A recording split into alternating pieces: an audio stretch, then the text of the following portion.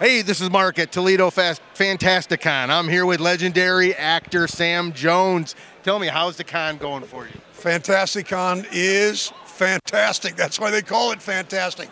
Great turnout for Saturday. See, a lot of fans, this is their opportunity, not just to come by and meet me and get some selfies and some autographs, but it's also their opportunity to tell me their story. Most of them know my story, but now I get to hear. Now, if the lines are long, I always ask them, now is it the short version or the long version?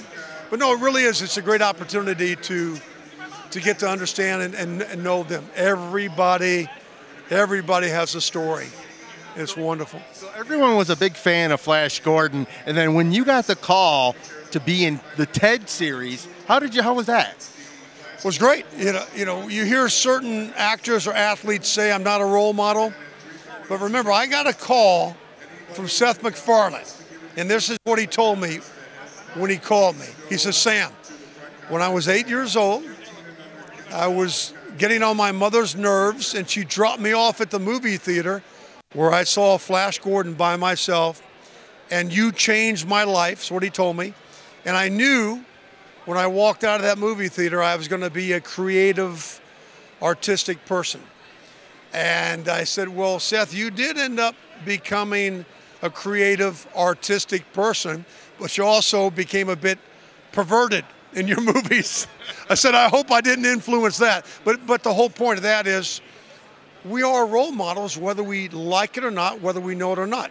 And this eight year old young man, Seth, grew up to be a decision maker in this industry, and I got that call because I influenced him. And he brought me into the uh, TED franchise.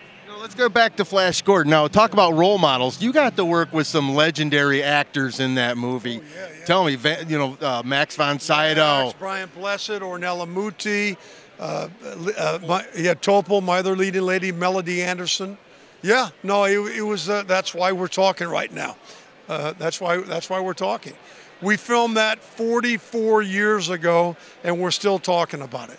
So the question should be, why is Flash Gordon still relevant? Well, he's still relevant because, especially with the youth, he's just a man. He's just a man. A lot of the younger generation and older we always think we have to look towards, well, superhero, yes, but somebody with superpowers. Flash Gordon proves the point. He's just a man. He goes through the same adversity, the same challenges as everybody else. He doesn't need any superhuman strength or powers. He's just a man. And if he can get through it, then by golly, I can. I, I think that's the message. I really do. Yeah, he's just a man. Quite a role model at that. Yeah. Now, t- tell me, what do you got coming down the pipeline? What do you got? Oh, we, we just did a film called An Unlikely Angel. I loved it. All three of us were nominated. My, uh, myself, and uh, the lady that played my daughter, and the young lady who played my granddaughter. And that's on PureFlix. And uh, yeah, and, and um, going to Ireland to do a film. And then in between all that, I'm doing Comic Cons. You're a busy guy. Well, anyways, it was a pleasure speaking with you, Sam. you, And this, and this is Mark Fantasticon with Yes. Flash. Come on now.